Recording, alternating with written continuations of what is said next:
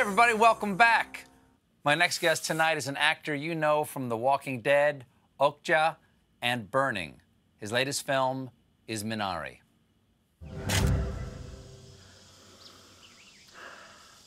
데이비, 우리가 그 스튜피드 스틱 썼어? 어떻게 찾았어? 머리를 썼지.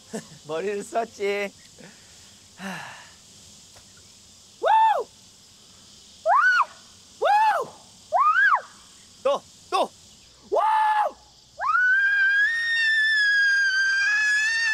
also. Please welcome to a late show, Steven Yeun. Hey, Stephen, thanks for being here. Hey, Stephen, thank you for having me. This is so cool.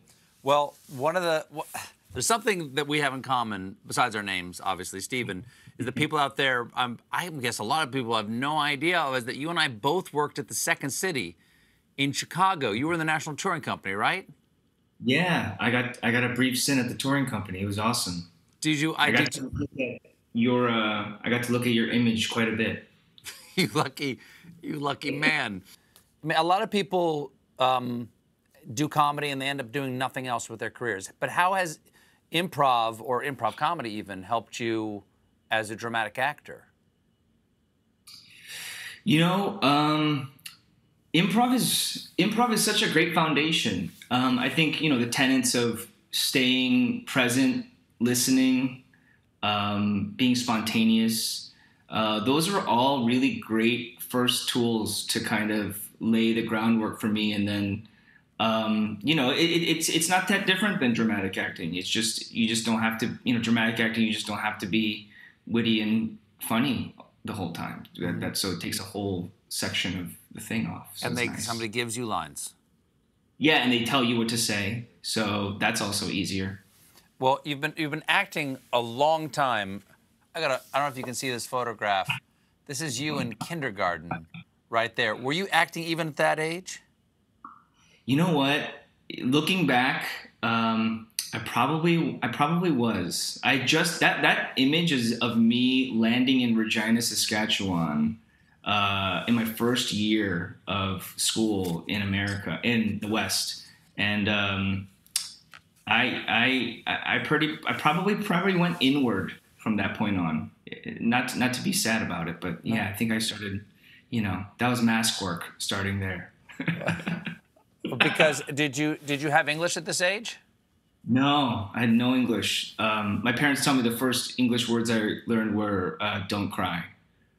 Oh my gosh. Yeah. Oh my gosh, because so many people said it to you? yeah. Oh my God. Wow. Oh. How do you say don't cry in Korean? Uljima. Well, I need to hear that right now. Just thinking of this Yeah. child being told not to cry.